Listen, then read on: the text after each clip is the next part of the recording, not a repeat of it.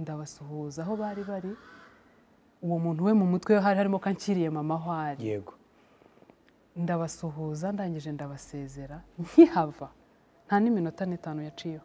Bahise bajya kubajugunya mu ruzi. Batandatu bose barabisha bari ngewe usigara. Papa rero ah, baramuhigaga cyane inkamba.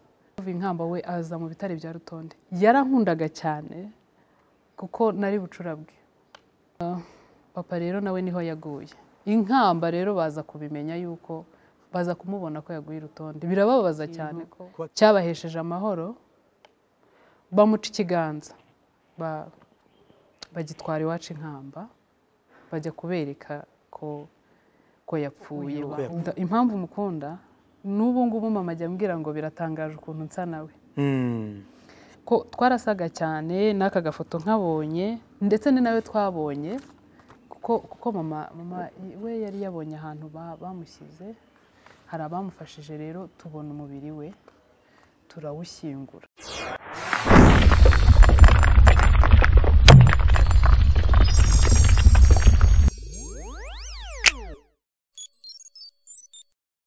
Reka tubasuhuze bakunzi ba yago tv show kandi twizere ko mukomeje kumera neza mu nce zitandukanye muherereyemo nawe utameze neza wihangane. Turi mu bihe byo kwibuka jenoside yakorewe abatutsi icyenda kane. Eh, turi kumwe n'umwe mu bayirokotse. Araza kutwibwira amazina ye yose kugira ngo adusangize bumwe mu buhamya azi bimwe mu byo azi byamubayeho ndetse n'umuryango we muri jenoside yakorewe abatutsi. Twibuke ariko nanone twiyubaka. Niyo mpamvu tugaruka ku mateka yaranze abanyarwanda kugira ngo tubashe kwigisha abarimo kuvuka uyu munsi tubabwire jenoside yakorewe abatutsi uko yateguwe uko yakozwe tunababwire noneho aho igihugu cy'u rwanda cyerekeza mu iterambere. Turakwakiriye kuri yago tv show. Murakoze cyane. Watangira twibwira amazina yayo yose tukinjira mu kiganiro. Nitwa mukabarisa grace amazina y'ababyeyi. Yego. Umunyamuziki ubusanzwe nitwa ashtete Mm. yego. Nkaba nifuje kuganira namwe mwakoze kuntumira yego. ku bijyanye na jenoside. Twinjiye mu kiganiro cyacu turi kumwe na mukabarisa grace cyangwa se grace umwe mu barokotse jenoside yakorewe abatutsi warokokeye he mu muryango w'abana bangahe jenoside ijya kuba byari bimeze gute mu gace mwabagamo? Murakoze cyane. Ah, narokokeye mu karere ka kayonza umurenge wa ruramira mu kagari ka nkamba. Yego. Ah, iwacu twari umuryango munini Ah, abo mvukana nabo kuri papa na mama twari abana batandatu. Yego. Yego. Ariko hari n'abandi bana ba papa batatu Ah, ubwo rero muri abo bana bose mu bo tuvukana abo ngabo kuri papa na mama batandatu bose barabisha bari ngewe usigara. Kandi ni ngewe wari mutoya. Yego Mm. jenoside itangira nanjye nari mutoya. Wari ufite nk'imyaka ingahe cyangwa ntabwo nagushaka kwivuga. Eh, nari mutoya nari- inshuke wari uzi ubwenge ku buryo ibintu byabaga icyo gihe wa ubyibuka ntabwo mbyibuka byose ariko hari ibyo nasigaranye mu mutwe nyine Mm. bitajya bimvamo. Mm. nzi kuko nk'iwacu igitero kiza ndabyibuka. Sinari nzi amacumu ngo ni ibiki sinari nzi ikiri ko muri iyo minsi hari hari ubwoba. Rero iyo hari ubwoba bwinshi n'umwana mutoya ara- arabibona ko hari ubwoba. Mm. nkeka ko n'inka ubwazo zabibonaga ko ibintu bitameze neza zika- ukabona ko na zo zifite hari ubwoba bwinshi kuko hari hagiye kuba ibintu bibi. Icyo gihe rero nubwo nari mutoya ariko ndabizi abantu bazi iwacu biruka bavuza induru ubona ko baje kwica nyine. Mm. so abana bo mu rugo bose barirukanka njye nari mutoya. Nta nubwo nari nzi kwirukanka Mm. ariko bariruka ndabakurikira. Imvura yari yaguye. Niruka nikubita hasi niru ntago nateraga urutambwe rumwe. Baragenda bagera ahantu mu ihuriro ry'umuhanda barahagarara. Barambona ko nabakurikiye barandinda. Byari ku mugoroba n'ubundi turara ahantu mu rutoki ku munsi ukurikiyeho ni bwo natandukanye nabo. Hari urugo twagiyemo abari ngewe basigarana bo baragenda. Ntabwo nongeye kubabona. Ntabwo ngiye kubabona. Nongeye kuva icyo gihe kugeza amagingo ye Oya, ntabwo ari bose. Kuko nasigaye aho ntabwo naho nahamaze igihe kinini.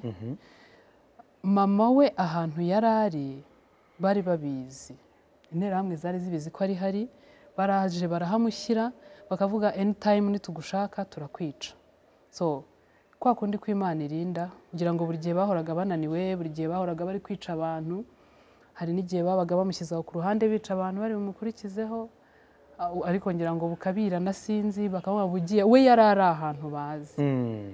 Rero abo bantu nibo bankiriye mama ko bari bazi ko ahantu mama ari.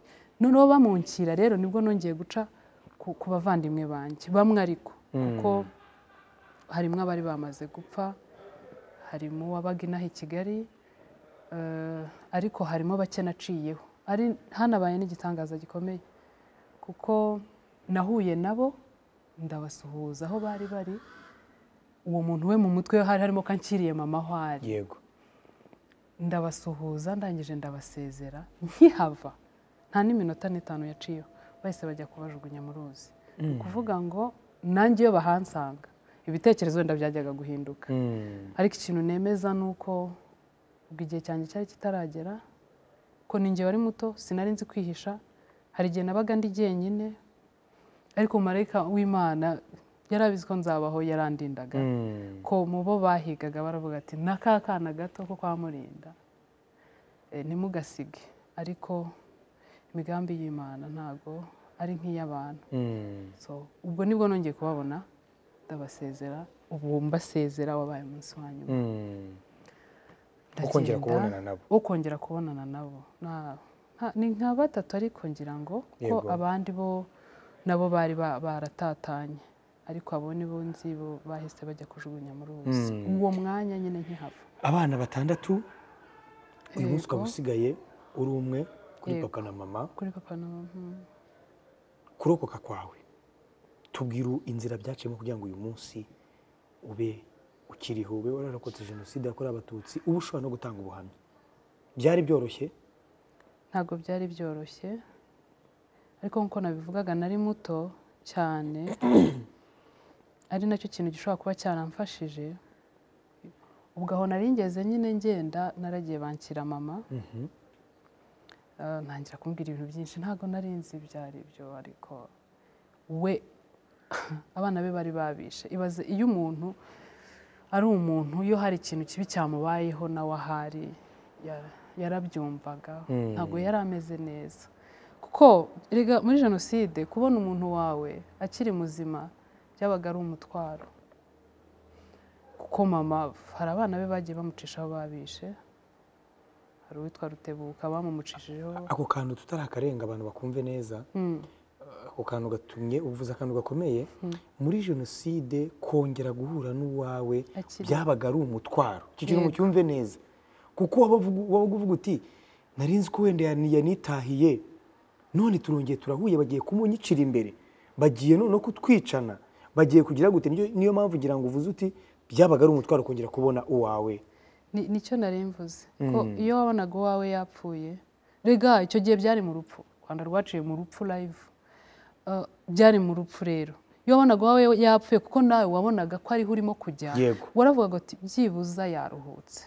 Buriya niyo umuntu arwaje umuntu akabona ababara cyane.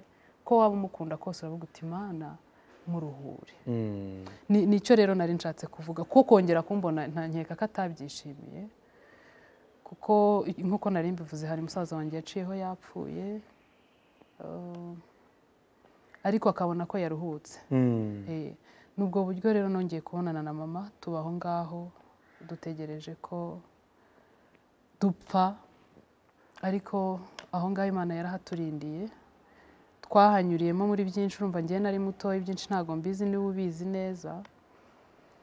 Twahanyuriyemo muri byinshi kuko iminsi yaragiye iba myinshi baza bashaka kutwica.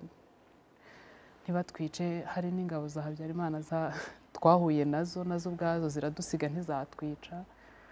Eh, ni birebire ariko inkotanyi zaje kudusanga aho ngaho. Mm.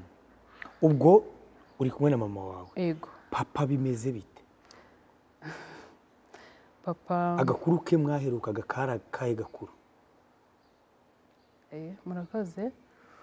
Ntago biba byoroshye. Papa yitwaga murinda ntwane yari atuye inkamba ndabizi ko abantu benshi barahita babyumva. Benshi ntabwo bazi ko nashobora gutanga ikiganiro. Mm. ariko ndakomeye kuko nabyawe n'umubyeyi ukomeye. Nanjye ndakomeye. Mm. papa rero ah, baramuhigaga cyane inkamba ku buryo bumvaga atabonetse. Jenoside itarangira. Mm. aho muri nkamba? Aho muri nkamba. Ntabwo byari byoroshye. Bahigaga murinda cyane. Nubwo igitero cya mbere gitangira baje bazi iwacu nyine. Papa rero yari yavuye inkamba agira utonde ni naho yaguye kuko yaguye mu bitare bya rutonde. Mm. aho bita mu bitare bya rutonde. Hari i rwamagana. Yego. Yari yavuye inkamba we aza mu bitare bya rutonde. Yarankundaga cyane kuko nari bucurabwe yarankundaga cyane kuko yenda kugenda yaraje arandeba arantwara. Yumvaga ari bupfane nanjye. Yarankundaga Mhm. cyane. Mm. Turagenda rero buriya abantu ba- umuntu utaragombaga gupfa yatandukanaga n'umuntu uri bupfe tugeze imbere hashize umwanya ndamubwira ngo ndashonje. Iryo jambo ndaryibuka kandi nta nubwo nari nshonje. Yego. Ubwe rero byatumye atekereza ibintu byinshi. Atekereza ati uyu mwana nubwo mukunda bazamunyicira mu maso inzara izamunyicana ansubiza mu rugo. Aragenda. Mm. nuko twatandukanye. Njya numva rero amateka ye kuko urumva ntago narindi aho yari ari. Yego. Baramuhize cyane inkamba urumva baramuhize baramubura ko yaje kugwa n'irutonde mu bitare bya rutonde. Hari Mm. abantu benshi cyane bahiciye abantu benshi cyane abantu bazi amateka yo mu bitare bya rutonde. Ah, papa rero nawe ni ho yaguye. Inkamba rero baza kubimenya yuko baza kumubona ko yaguye irutonde birababaza cyane ko kuba atari bo bamwiciye. ko atari bo bamwiciye. Ariko bakora ikintu cyabahesheje amahoro bamuca ikiganza ba- bagitwara iwacu inkamba bajya kubereka ko ko yapfuye. Ko bahumure batuze ego barishima yuko yapfuye. So rero n'ubu njya mbitekereza urupfu rw'umubyeyi wambyaye rwanciyemo intege. Njya ntekereza ukuntu umuntu babona ikiganza bakamenya uwo muntu uwo muntu yari umuntu udasanzwe. Yari inzobe yari umuntu munini afite ikiganza gikunda kuba kiriho isaha. Mm. njya ntekereza rero uko bagiciye bakajya kucyerekana bakishima. Ariko ibyo ni urugendo uko ngenda akomeye yarambyaye nanjye nabyawe n'intwari. Mm. Ego, kubera iki papa wawe yahigwaga cyane? Buriya muri jenoside hari abantu bahizwe mu buryo budasanzwe. Ayo mateka yawe ajya gusa n'ay'abandi bantu barokotse jenoside yakorewe abatutsi ariko none ugasanga nko mu muryango wabo baravugaga bati runaka ugasanga n'amatangazo aratangwa. Kuri uyu musozi wa rutonde runaka nadapfa ntabwo jenoside iri buhagarare. Ugasanga muri muri mikoro cyangwa muri mu byo bavuga bavuga bati runaka agomba gupfa. Mwamubonye mwamugezeho kuri ya masipici yabo. Kuri radiyo ukumva baravuze bati mu mujyi wa kigali mu karere cyangwa se muri perefegituri ni komini n'iyi umuntu witwa runaka. Turashaka kubona uruhanga rwe. Urumva uku- ukuntu ba- bavugaga? Kubera iki? Muzehe wawe yahigwaga cyane? Hari ukuntu barebaga nk'umuntu wenda bakabona arasobanutse azi ubwenge kandi bakabona wenda afite Yagomba gupfa mu b'imbere. kuri we Mm. bagatekereza uyu muntu arakorana n'inkotanyi nta kuntu yaba adakorana n'inkotanyi yego so bigatuma rero kuko na bajyaga baza n'iwacu ubuyobozi bukaza ngo gu- gu- gusaka ngo barebe ko nta nta byitso bafite Mm. urumva hari ukuntu babaga bamwikanga ko ashobora kuba akorana n'inkotanyi so bigatuma rero bamuhiga cyane kubona ko hari ikindi kintu ashobora gukora gitandukanye n'ibyo bari barimo nyine bikaba byabicira imipango yabo. Mm. yego. Nkeka ko ariyo mpamvu rero babahigaga babatekereza ko bashobora kuba bakorana n'inkotanyi. Mm. mwamenye inkuru rero y'uko muzehe bamaze kumwica ryari? Ngewe ibyo ni amateka. Nari umwana n'ibi bimwe n'ibyo mba naragiye numva abantu batangamo ubuhamya n'umubyeyi wawe Ah, mama akakubwira ati Eh, eh, si n'ibyo kubimbwira nari umwana ariko nari mbizi ibintu by'uko abantu bapfuye kuko tuva mu nkambi twari turi mu nkambi y'i Rwamagana. Mhm. nagendaga mubaza none se mama turabana nande? None se turaba hehe?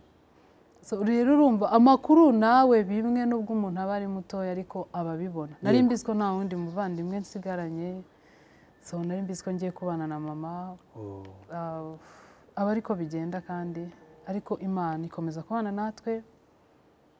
Iradushyigikira nyine ubu ngubu turakomeye. Kugeza magingo aya. turakomeye. Tutaragera eh, ku munota wa nyuma cyangwa ku isaha ya nyuma cyangwa ku munsi wa nyuma murokorwa hari agafoto waje witwaje.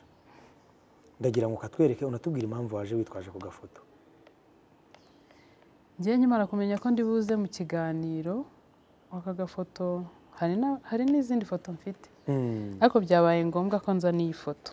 Kubera iki kano gafoto rero. Iyi foto rero nyine urabona ko itanagaragara neza. Mm, ni ya kubera mafoto ya kera biragaragara ko ari ya mafoto urumva kugira ngo umuntu azabone n'ifoto ni ikintu gikomeye.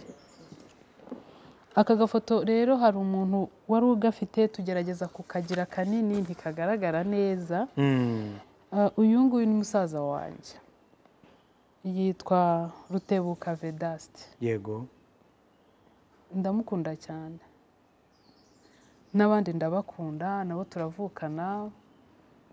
Ariko uyu impamvu mukunda n'ubu ngubu mama ajya ambwira ngo biratangaje ukuntu nsa nawe. Mm. ko twarasaga cyane n'aka gafoto nkabonye ndetse ni nawe twabonye kuko mama mama we yari yabonye ahantu ba- bamushyize hari abamufashije rero tubona umubiri we turawushyingura. Njya nanashima imana ko twamubonye. Ndamukunda cyane numvaga ndi purawudi yo kuba nakerekana ifoto ye. Ntabwo igaragara neza ariko ndamukunda. Mukunda nk'umuntu uhari. Kandi koko rega uh, barapfuye ariko mu bitekerezo byacu barahari. Turahari ku bwabo uyu we ariko bi- birarenze. Mba numva ahari n'ubundi. Ntabwo mvuga ngo naramukundaga Mm. kuko n'ubu mukunda nk'umuntu numva uhari. So nabaye proud yo kuzana ifoto ye hano. Bi- bishobora kugaragara ko dusa. Sinzi. Nubwo agafoto katagaragaraga cyane. so niyo mpamvu nazanye ifoto ye rero. Mm. Eh, Mhm. Mu kiganiro twigeze kugirana hari n'aho wigeze kuvuga ko hari musaza ujya wiyumvamo ko akiriho. Iyo tugeze mu gihe cyo kwibuka jenoside yakorewe abatutsi icyenda kane. Wiyumva gute? Urakoze nshima imana ko yamfashije ikansigira umubyeyi mama wanjye. Ni umuntu ukomeye. Mm. narakubwiye ko yababariye yababariye abantu bamwiciye. Abaha imbabazi ndetse ni n'umurinzi w'igihango. Mm. ko yafashije mu bumwe n'ubwiyunge yarababariye ntabwo yigeze arihisha abantu. Ah, arakomeye ntabwo muri ibi bihe aba akomeye so rero ukuntu yandeze yandeze ntabwo yigeze anyigisha kwanga abantu ntabwo yigeze anyigisha kuvangura abantu. Aricyo kintu cyatumye ntagira oh, muri njye ikindi kintu kibi kibiri inyuma. Mm. muri ibi bihe twaciye mu bihe bibi. Kandi nabuze abavandimwe mbura umuryango ni benshi bagiye ariko birambabaza mfite agaciro kabyo mbiha ariko muri ibi bihe mba nkomeye. Nta muntu nzi nahahamutse ngewe nshobora kurira nyine kubera ko hari ibyo hari wibutse. icyo nibutse. Mm. ego. Ariko nyine ni ni emosiyo ni emosiyo ndakomeye. Muri ibi bihe rero mba nkomeye. Ariyo mpamvu mba nabwira buri munyarwanda wese nyaboneka. Abenshi ndabizi ko bahari batarakira. Mumbabarire mukomere. Kuko imana yatugiriye icyizere. Itugirira icyizere twe turasiga. Ngewe ntago ntago numva ukuntu ngewe wari muto utazi kwihisha utazi kwiruka nk'abandi. Mm. ari ngewe wasigaye. Abandi bagapfa. Bari bafite imbaraga bari ba- abari bafite imbaraga abari bazi kwihisha barapfa aba ari ngewe usigara. Najyaga nanabitekereza kuki ari ngewe wasigaye kandi ndi muto? Mm. ni uko imana ari ngewe yagiriye icyizere. Ni uko yari izi ko nzashobora kwihangana ni uko nanjye yari izi ko nzashobora kubabarira. Nawe rero wowe wasigaye. Uko wasigaye umeze kose. Ubuzima bwose waba waraciyemo ariko ukaba warasigaye. Imana yakugiriye icyizere cyo kubaho. Yego. Baho rero. Mm. ni ukuri ndakwinginze kugira ngo ukomere ukomere uh, mu mutwe wawe ushyiremo yuko ugomba kubaho ugomba guheranwa n'agahinda. Ayo ni amagambo abantu benshi bakunda kuvuga tuba tuyasubiramo. Ariko nakubwira ngo komera ube intwari ubeho ubeho. Bariya nabo igihe cyabo cyari cyageze. Nta n'umuntu ujya usimbuka igihe cye. Gusa biragoye kuba waba igare inzira yo gutwara wenda umuntu. Ntabwo Mm. ari byo. Ariko rwose ndabwira abantu namwe kugira ngo mukomere mube intwari warakomeretse ariko se nyuma yo gukomereka. Kuba intwari se ni iki? Intwari ukomere. Njya nkunda iyo mpuye n'umuntu uh, wanakomeretse cyane ariko ugasanga yarakomeye. Hari umuntu uvuye gutanga ikiganiro ahangaha Mm. Ndamubajije ikintu cya mbere nti se urumva warakize ati meze neza? Ni ukuri mumere neza? Bishakishe mu mutwe umere neza ukomere?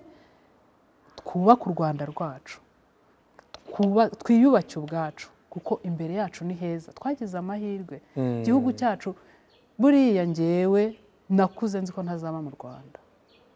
Kuko nari nzi ko mu rwanda bicana. Ari habi. Ari habi bicana. Nyine urumva ndi mutoya. Ndavuga ibi ntago nzaba mu rwanda. Ngewe numvaga umuntu iyo amaze kwiga segonderi aba afite ububasha n'ubushobozi bwo kujya kwibera ahandi hantu ku- bwo kuba ashatse. yakora ikintu ashaka ukaba wajya no hanze. Numvaga ntazaba mu rwanda. Ariko twagize amahirwe. Uru rwanda ntabwo rukiri rwa rundi. Uru yego rwanda rwarahindutse. Mm. u rwanda rwabaye rwiza ku buryo n'abanyamahanga bifuza kuza kudusura. Ubu rero nishimiye kuba mu rwanda rwambyaye. Ntabwo ntateganya kongera gutekereza ku- ku- kuvuga ko nzaba ahandi.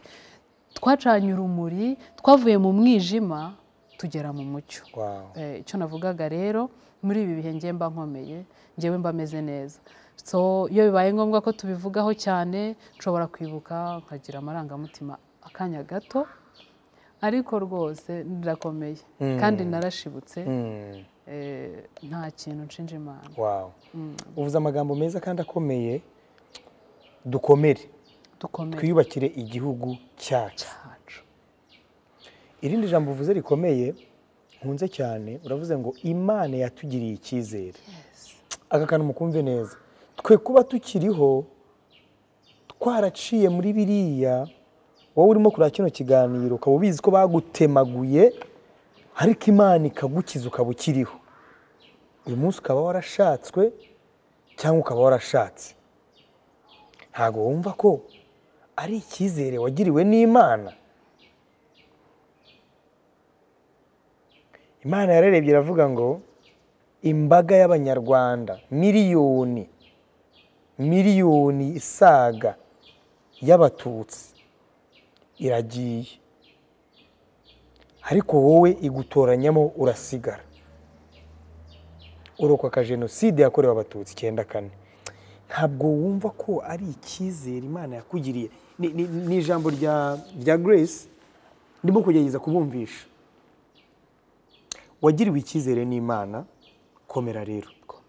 Komera kandi ukomeze n'abandi. Birandyoheye cyane kuba nkora ikiganiro nawe umeze gutya. Birandyoheye cyane. Kuko buriya imyaka makumyabiri n'icyenda si imyaka mike ku wakomeretse ariko none si imyaka myinshi ku muntu ugifite igikomere kibisi. Kuko ndabizi ko bahari kandi reka tubakomeze. Ariko reka tubasabe gukomera nanone kandi mwongere mukomere pe. Kubera ko nta hantu bizajya kuko twarabakundaga. Bari ababyeyi bacu bari abavandimwe bacu. Ntaho bizajya. Uretse kwikomeza tukubaka igihugu. Tugatoza abato nabo kuba intwari no gukomera ku busugire bw'igihugu kugira ngo ejo bitazongera kuba. Ariko niducika intege tukaganzwa n'igikomere umwishyuwe reka tureke no kumwitaho. Ahubwo abana bacu tuzabigisha iki? Nituba tudafite umutima ukomeye ngo tubabwire ngo byagenze gutya. Tuzashiduka nta burere duhaye abana bacu bwo kurinda igihugu mu gihe twe tutakiriho. Dukomere turi mu minsi ijana yo kwibuka jenoside yakorewe abatutsi muri mata icyenda kane. Jenoside yahitanye abarenga miliyoni. Turi mu rugamba rwo kurwana n'abapfobya jenoside yakorewe abatutsi. Bavuga ko habayeho dabo jenoside bavuga ko nta jenoside yabaye bavuga ko ari ubwicanyi bavuga ko ari intambara bavuga ko urubyiruko rw'uyu munsi aho uri waba uri muri geto waba uri muri shato waba uri i mahanga waba uri mu ntara fata iya mbere. Kuko uyu munsi ntitugifite abatwa abahutu n'abatutsi ntabyo tukigira. Uri umunyarwanda fata iya mbere ahubwo wowe urwanye umuntu ushaka kongera kubiba amacakubiri mu banyarwanda. Nudafata iya mbere ugafata nudafata iya mbere uzafata iya nyuma. Nudafata iya mbere uzafata iya nyuma. Kandi bamwe mu ba- mu- mu- mu bajene cyangwa mu rubyiruko rwari ruriho muri mata cyenda kane rwafashe iya nyuma. Rufata iya nyuma mu kudashaka kumva amateka rufata iya mbere ahubwo mu gutema. Uyu munsi rero ngewe ndifuza ko urubyiruko rufata iya mbere mu gukumira kuruta gufata iya mbere mu kwica. Kuko uyu munsi ntekereza ko nta- ntabwo ntabwo turi ku ngoma y'ubwicanyi ntabwo turi ku ngoma y'amacakubiri ntabwo turi ku ngoma ntabwo uyu munsi iterambere igihugu cy'u rwanda rigezeho ntabwo ari iterambere ririmo amacakubiri. Iyo rino terambere riza kubamo amacakubiri mwari kuba mubona ahantu twari kuba turi. Ntabwo kongere ya fifa yari kuba yaraje i kigali. Ni iki kiba cyaraje se ahubwo? Ntabwo tuba dufite uno mutekano ntabwo tuba dufite visit rwanda aho ikipe yo mu bwongereza nka arsenal yifatanya n'umunyarwanda wese. Ni byinshi. Mu- bihe byo kwibuka jenoside yakorewe abatutsi ukabona umuzungu afashe iya mbere afashe buji aravuze ati nifatanyije n'abanyarwanda.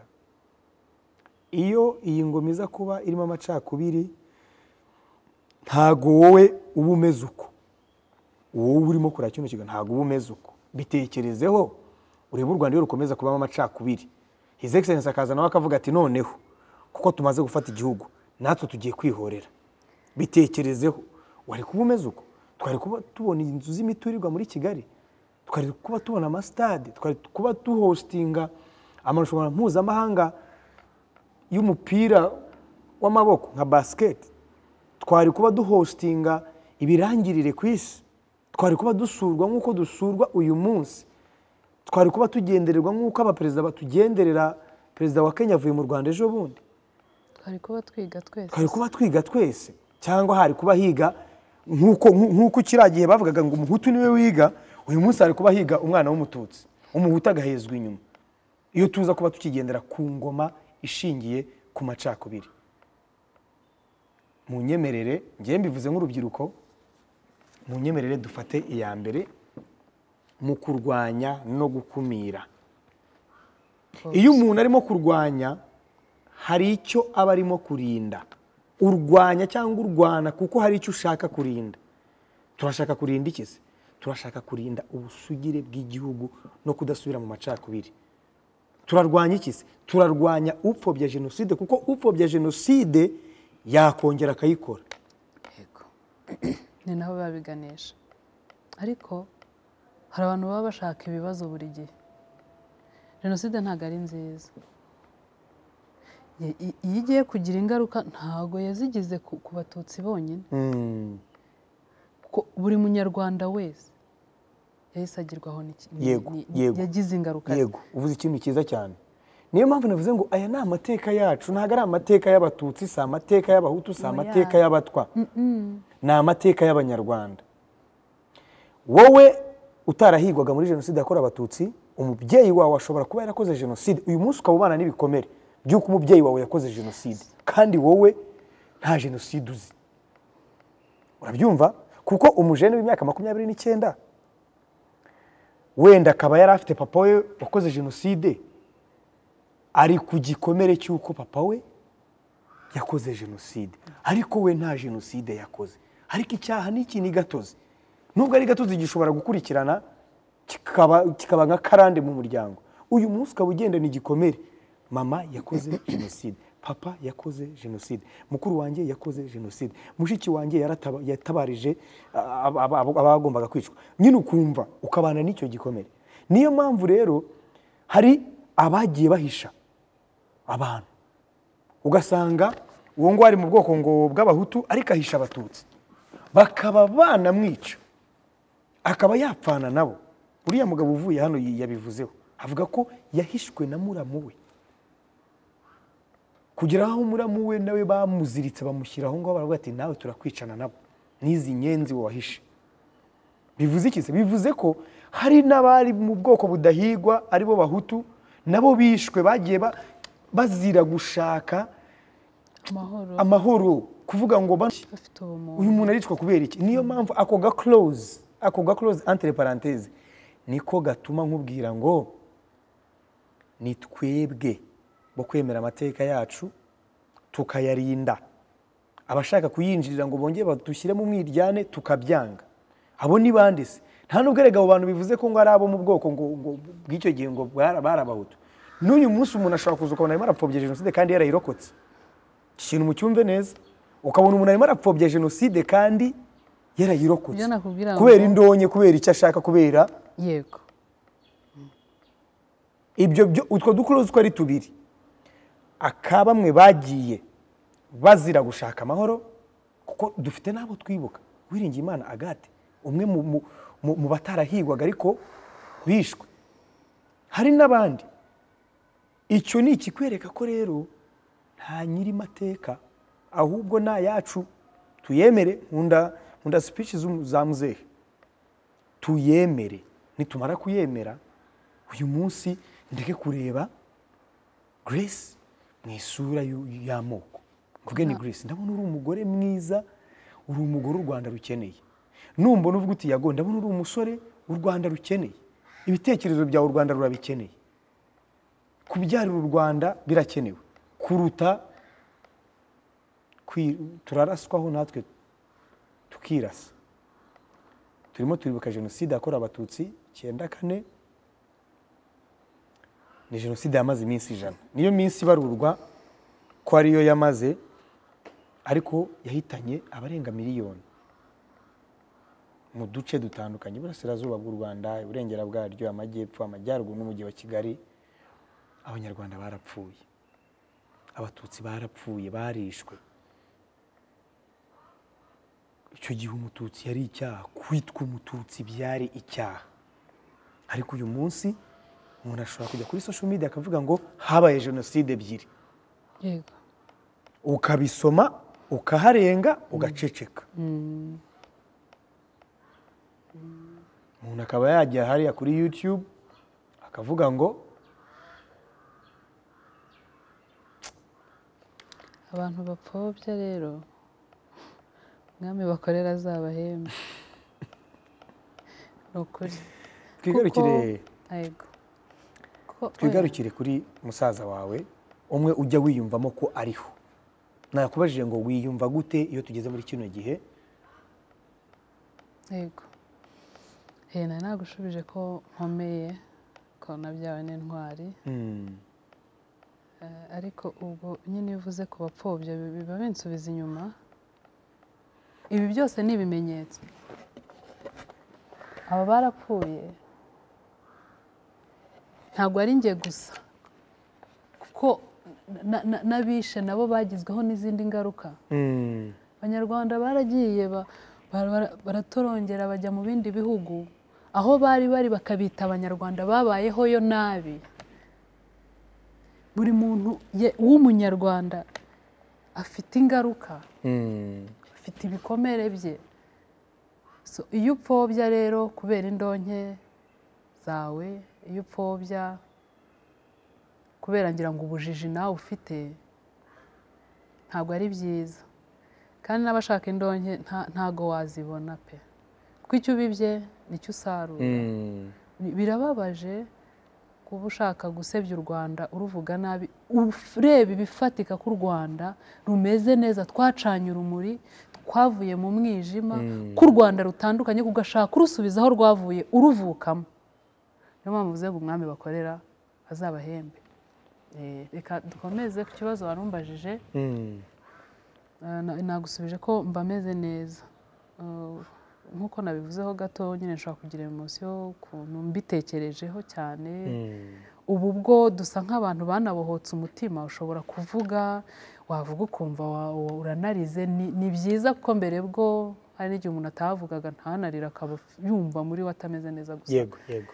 Uko tugenda tubohoka rero hari ikintu kigenda gihinduka ariko nyine mba nkomeye Ah, ikindi ubushize nkorana ikiganiro nawe mm, nari naje kuvuga iby'umuziki wanjye ariko biba ngombwa ko mvugamo musaza wanjye numva ko ashobora kuba akiriho murangije Mm. kiriya gihe rero numvaga ngira ngo ntazongera kubona amahirwe yo ku y'uko nabivuga kandi nari mbimaranye igihe njye nakoze icyo nagombaga gukora.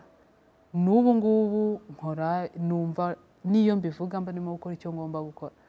Musaza wanjye witwa Vianney Rangira yabaga inaha i Kigali. Ntago nzi urupfu rwe n'abandi benshi sinzi iyo baguye ariko bo mba numva nta kibazo numva barapfuye. Mm. we rero muri njye numva yuko akiriho. Vianney niyo mpamvu ubushize navuze nti ubaye ukiriho rwose. Eh, ndacyahari tete na mama aracyariho. Ubaye ukiriho aho waba uri hose ko natwe tugihari. Iyo mbivuga abantu benshi cyagiye barambwiye we yarapfuye bampa ibimenyetso.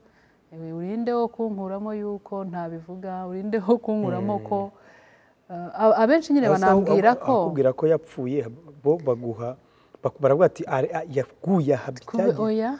Ati kubera wenda n'aha byari bikaze ikindi gihe gishize n'ikindi. Bafite impamvu zumvikana. Mm. reka nanjye ndabyumva. Ariko muri njye habamo ikintu gitandukanye n'ibyo bambwira. Abandi bakambwira wananiwe kwikuramo ko yapfuye. Uba no kubyikuramo rega. Rega njyewe se ko napfushije abantu benshi. Kuki se ari katapfuye bugaruka kandi njyewe n'ubundi abo nashyinguye ntabwo ari benshi. Kuko abenshi twarababuze pe. Ntabwo tuzi aho baguye Mm. ariko ndabyemera.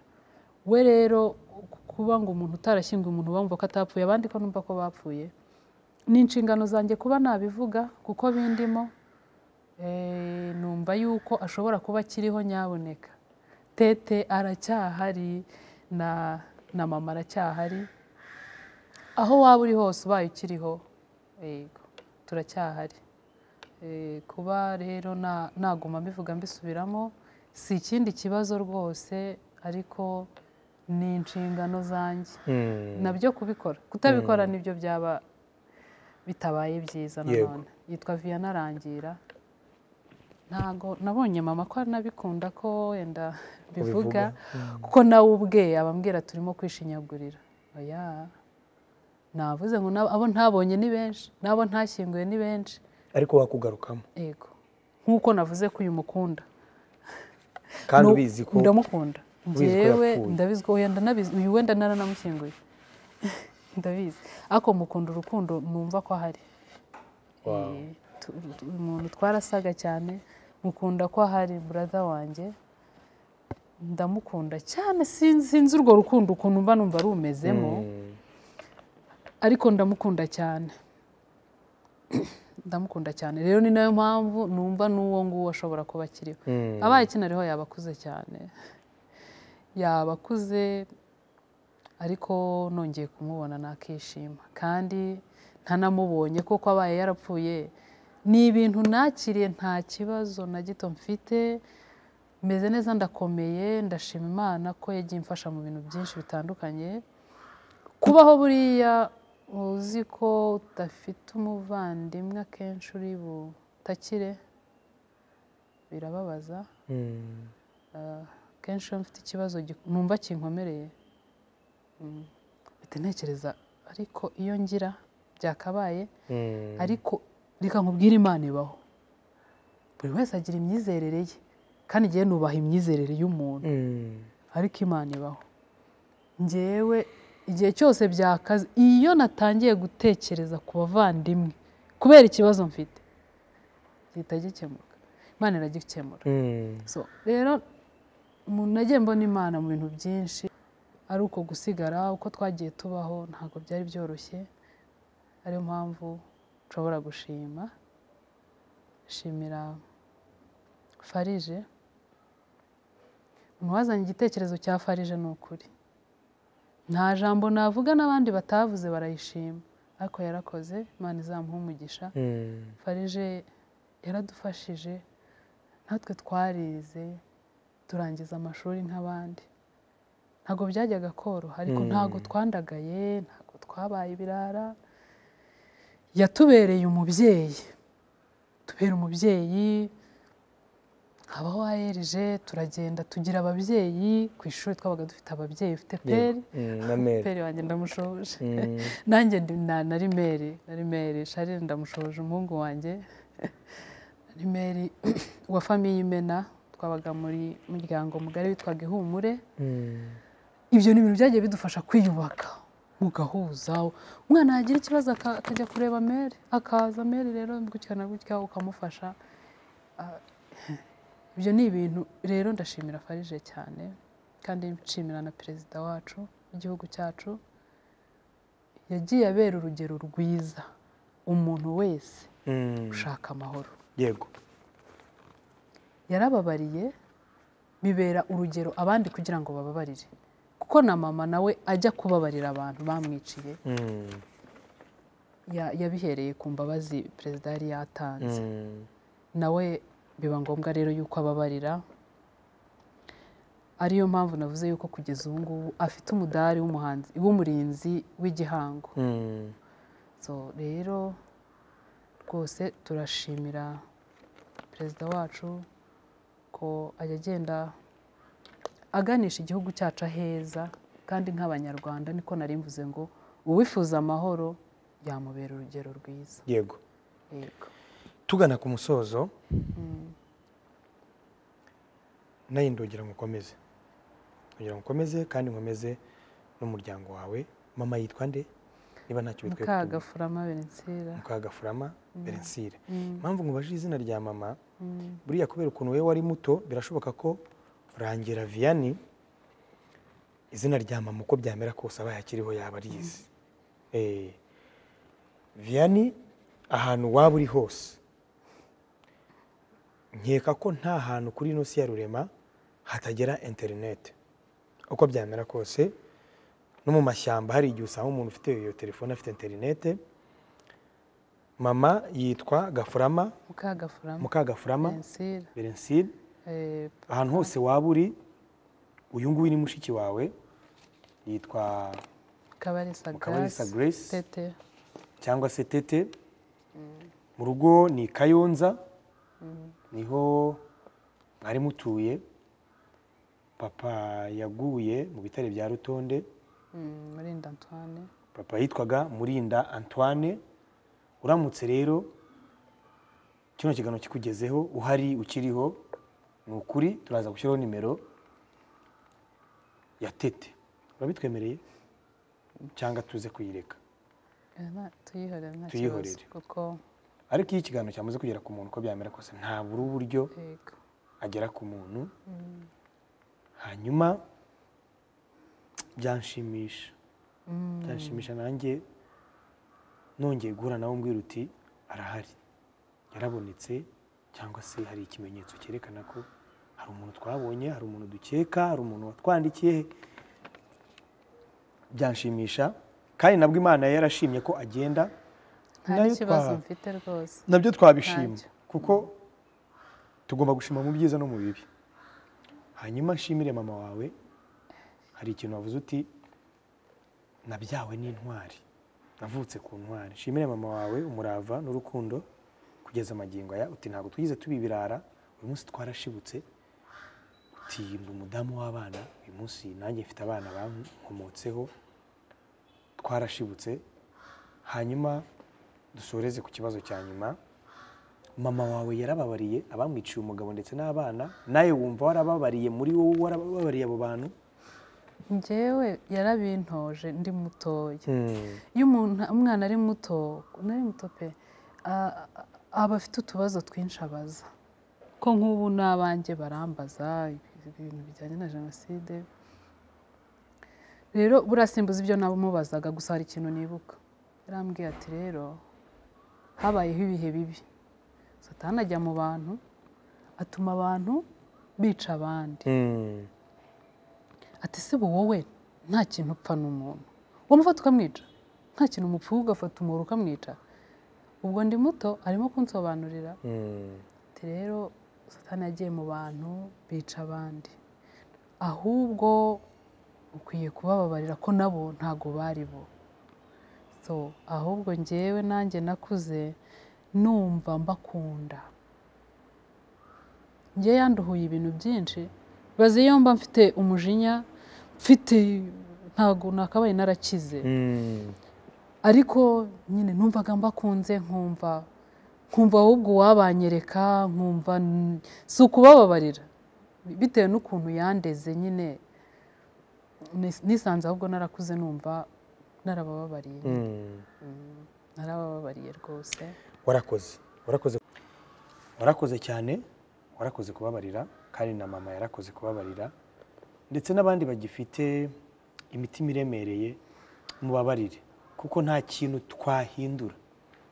Abacu baragiye abo twabuze baragiye ntacyo twahindura rero. Reka tubabarire. kugira ngo twebwe turusheho kubaho neza. Kuko iyo utababariye ntabwo ubaho neza. Ubaho uremerewe. Turimo turibuka jenoside yakorewe abatutsi icyenda kane ni ku nshuro ya makumyabiri n'icyenda. Munyemerere twibuke twiyubaka. Mukabarisa grace ni we twari turi kumwe nawe kuri yago tv show. Wakoze cyane. Ijambo ry'ihumure mesaje yawe ku barokotse jenoside yakorewe abatutsi. Ubundi dushyire akadomo. Nk'uko nabivuze ah, icyo nifuriza abantu bagifite ibikomere batarabohoka ngo bumve bameze neza. Ah, ni ukubasengera kugira ngo mubyakire ariko mbifuriza ko mwabyakira. Ni amateka yarabaye ni mabi pe. Ni mabi. Ariko mubabarire mugerageze kwiyubaka. Twagize amahirwe tugira u rwanda rwiza. Kugeza ubu ngubu ibyiza turimo kubibona. Reka rero two guheranwa n'agahinda ahubwo twiyubake ah, twiteza imbere twigisha abana bacu ibyiza kugira ngo tugire aho tuva n'aho tugera. Gusa ngewe iyo umuntu agifite guheranwa n'agahinda numva nyine namusabira imana kugira ngo imufashe abyakire. Birambabaza kuko si we uba wabihisemo kugira ngo yumve ntabwo abantu ba- bamera kimwe. Nshobora kubohoka ariko ugasanga undi we ntabwo ariko bimeze. Ariko rwose nkubwira kugira ngo ubeho wasigaye kugira ngo ubeho. Baho rero. Kandi n'imana yakugiriye icyizere cyo kubaho. Baho ubeho ubesheho u rwanda noneho abagukomokaho bazabeho bazi ko amateka nubwo yabaye mabi ariko eh, imbere ari heza. Mbingingira kugira ngo rwose mubohoke mumere neza kandi imana ibibafashemo.